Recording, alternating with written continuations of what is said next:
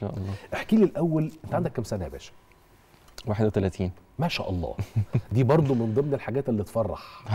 إن إحنا نشوف مؤلفين موسيقيين وهم يعني في سن صغيرة نوعيا لكن بيمتلكوا موهبة كبيرة جدا.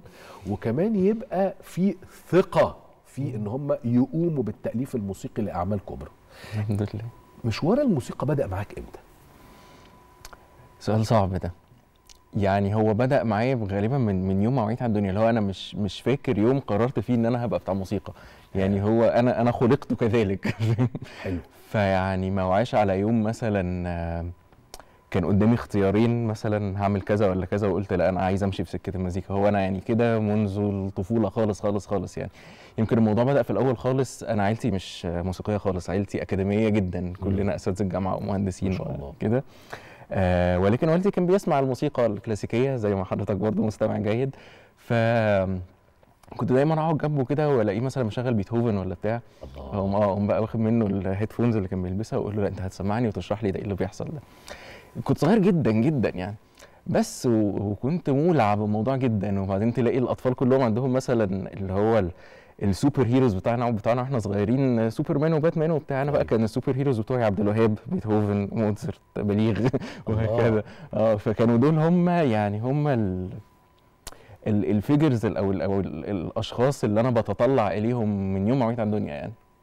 ف ده حب الموسيقى بالنسبة لك. آه. بدأ بسبب الوالد اللي مم. بيسمع موسيقى مجرد بيسمع الموسيقى. بس. آه مجرد بيسمع بس. طيب مم. لما لما لما بدأت تقول للوالد أنا هدرس موسيقى مم. وهو رجل أكاديمي مم. والعيلة أكاديميين قال لك إيه؟ في الأول تحمسوا جدا قالوا دي هواية جميلة أنا و- قلت هتقول لي في الأول قالوا إزاي؟ لا لا بالعكس ما هو بيحصل بالعكس في الأول تحمسوا جدا وقالوا ان الموضوع هواية لذيذة يعني بعدين آه، مع الزمن بدأوا يحسوا إن هو إيه ده؟ لا ده الموضوع مش مجرد هوايه أنت كده خطر. فبدأوا اللي هم يبقوا ضد الموضوع بنسبة كبيرة لحد ما جيت عند ثانوي قلت لهم أنا عايز أدخل معهد الموسيقى أنا كنت للأسف جايب مجموع عالي في ثانوية عامة. للأسف.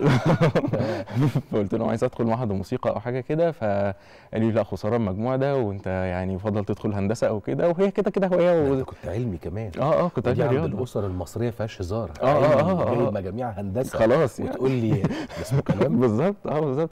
وهم كان عندهم قناعة تامة إن هم إيه اللي هو يعني سنتين كده وهتنسى الموضوع أصلا وعارف يعني. آه بالظبط. بس فكملت في الموضوع يعني هم كانوا متوقعين كانوا مستنيين اللحظة اللي أنا أقول لهم فيها خلاص يا جماعة أنا اكتشفت إن المزيكا دي كانت حاجة كده عابرة في حياتي وخلاص يعني. بس ولا كان الموضوع طلع بجد.